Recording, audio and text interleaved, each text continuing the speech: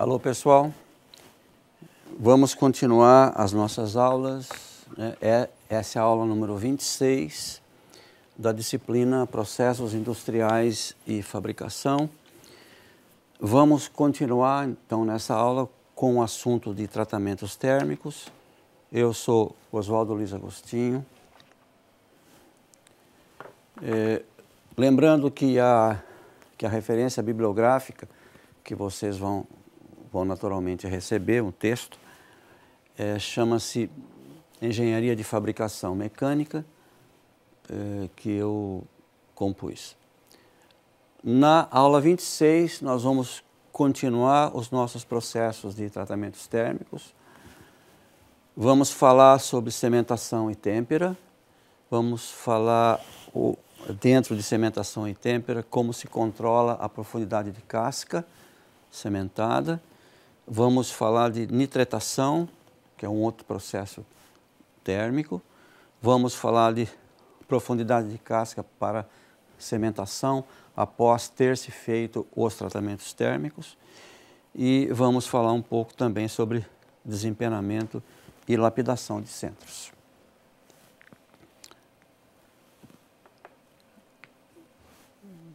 Voltando a aquele slide que eu sempre gosto de usar, né? Quando a gente fala sobre operações de tratamentos térmicos, são operações que, que alteram as propriedades mecânicas e me melhoram a usinabilidade.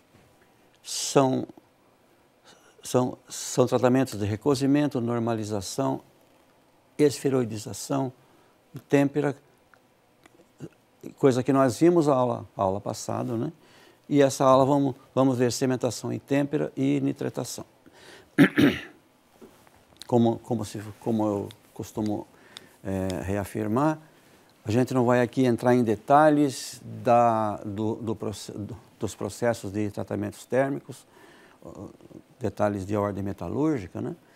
mas vamos é, discorrer sobre eles de tal modo que vocês tenham condições de escolher um deles quando forem é, colocar operações no seu roteiro de manufatura, visando atender às especificações metalúrgicas que estão nos desenhos das peças. Então, a cementação e têmpera, ela é um, é um termo geral que descreve, define e descreve tipos diferentes de operações de tratamento térmico, sempre com o mesmo objetivo. Obter uma superfície resistente ao desgaste, com baixa dureza superficial e alta dutilidade, e, e que seja capaz de absorver cargas com choque sem se romper. Então, dentro do grande guarda-chuva de cementação e têmpera, nós vamos então falar algumas, algumas coisas, ou melhor, vamos descrever alguns processos particulares dentro dessa definição geral. É, a cementação é um, é um processo que é hum, metalúrgico, né? que é usado com muita facilidade, ele não tem grandes complexidades para ser executado. E, o, os tipos principais são gasosa, líquida e o chamado encaixa, on, on bottom, como você fala em inglês. O objetivo é elevar o percentual de carbono superficial, que permite dureza superficial maior após a têmpera, né? empregada em aços de baixo carbono de 0,1 a 0,25%. Todos sabem que a, aços de baixo carbono não são sujeitos a se, a se eh, fazer têmpera somente, porque devido à baixa porcentagem de carbono não se consegue alteração de propriedades metalúrgicas, formação de grãos, que permitam aumento de dureza superficial.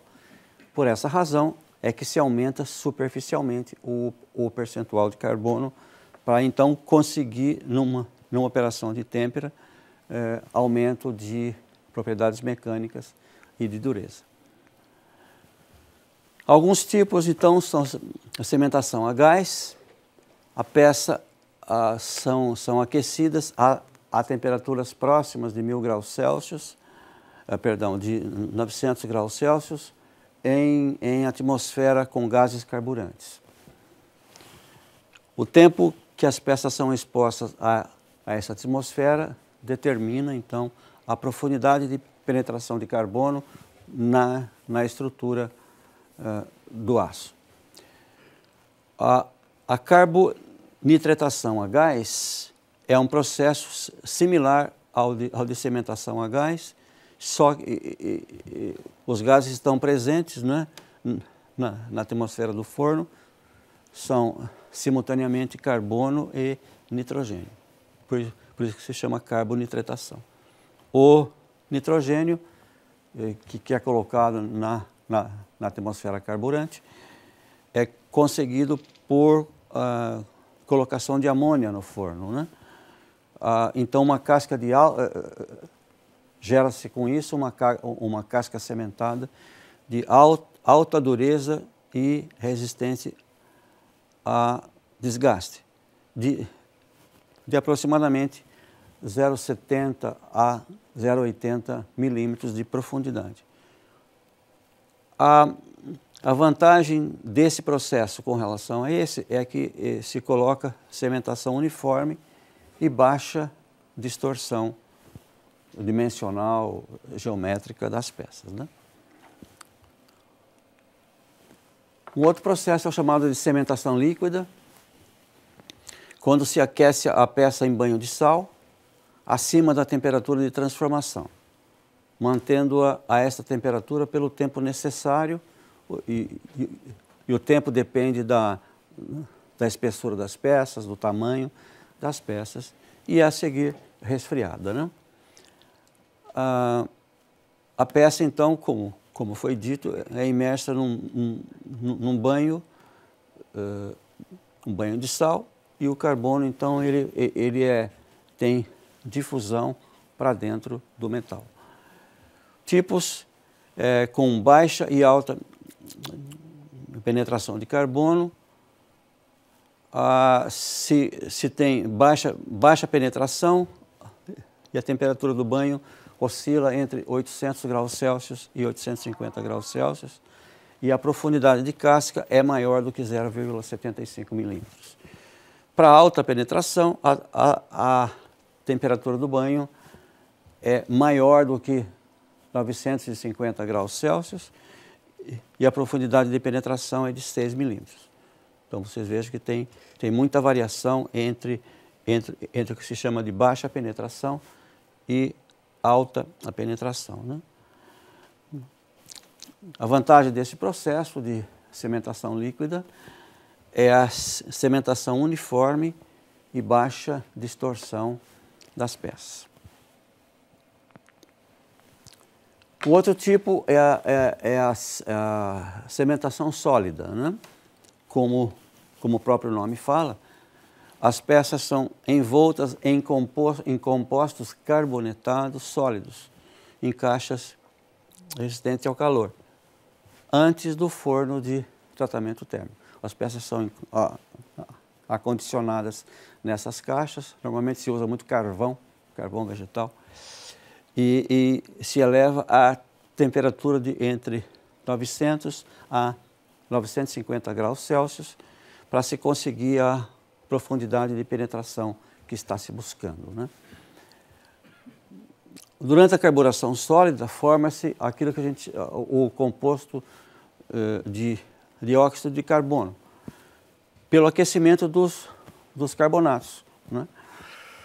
que reagem então com a, com a estrutura uh, do ácido da, peça para formar monóxido de carbono, que penetra então superficialmente nas peças. O, como foi dito anteriormente, o carbono sólido pode ser então carvão, coque ou mesmo sal virgem, que tem um, que tem um percentual de carbono bastante alto.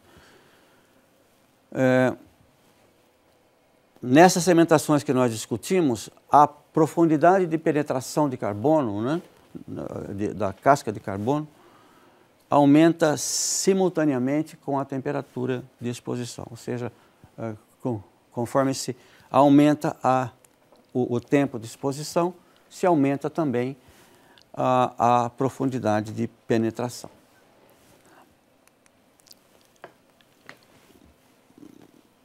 Nós, nós falamos bastante aqui sobre profundidade de camada cementada, uh, falamos muito em aumento da camada, diminuição da camada, e temos que agora que discutir um pouco quais são os métodos que, que definem a, a profundidade dessa camada após a têmpera, porque vocês sabem que a peça é, é, é aquecida, aumenta-se o percentual de carbono e depois é resfriada, naquilo que nós chamamos de têmpera, porque ela pode ser resfriada só, somente depois que se aumenta, aumenta o percentual de carbono, porque somente então se consegue aumento de, de dureza superficial com o aumento do percentual de carbono. Então, trata-se de, eh, vamos falar um pouquinho sobre profundidade total e a chamada profundidade efetiva. O que se entende por profundidade total? É a distância medida per, per, per, perpendicularmente na superfície do, ato, do, do aço até o ponto que as propriedades físicas e químicas entre a casca, a casca cementada e o e o núcleo sem alteração não possam mais ser distinguidos. Em outras palavras, a, a penetração do, do, de carbono terminou. Ela é usada para definir a profundidade que se deseja colocar na peça. Né? E, e principalmente muito bem controlada quando essa casca tem que ser muito pequena, muito leve. E a chamada profundidade efetiva é a distância perpendicular à superfície endurecida, né? até a maior profundidade onde a dureza superficial é ainda mantida. Em outras palavras, é, a, a, a profundidade efetiva é aquela que mede, é, mede com precisão a o, o, aumento da dureza superficial até onde se queira, porque a, após um certo ponto começa a haver difusão metálica e a dureza superficial começa a cair. É claro que a, que a, que a nossa profundidade efetiva vai ser sempre maior do que a total sempre, sempre, eh, sempre que a dureza do núcleo for menor do que 50 Rockwell C. O outro processo é o processo de nitretação. Né? Falamos em cementação, vamos agora falar em nitretação. Se faz a, a exposição do aço à fonte de nitrogênio li, livre a temperatura entre 500 e 570 graus Celsius. Vocês notam que é uma temperatura menor do que a da cementação. Os aços são então endurecidos, têm, têm elementos de ligas de carbono e nitrogênio que formam aquilo que a gente chama de nitreto, os chamados nitretos endurecidos ou nitretos duros. Tem, é, tem alumínio, que é o que é o formador dos, dos nitretos, né? como também cromo, vanádio e molibdênio.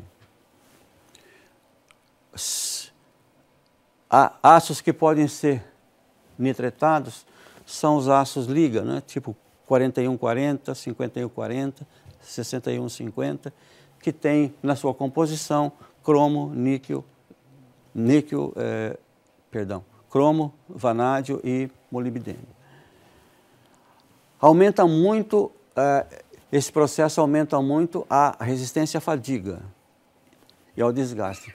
Muito utilizado em, em peças que, que estão sujeitas a desgaste, como por exemplo dentes de, dentes de caixa de engrenagem, dentes de engrenagens em caixa de engrenagens principalmente da, da indústria automobilística, onde, onde as rotações são muito altas. Né?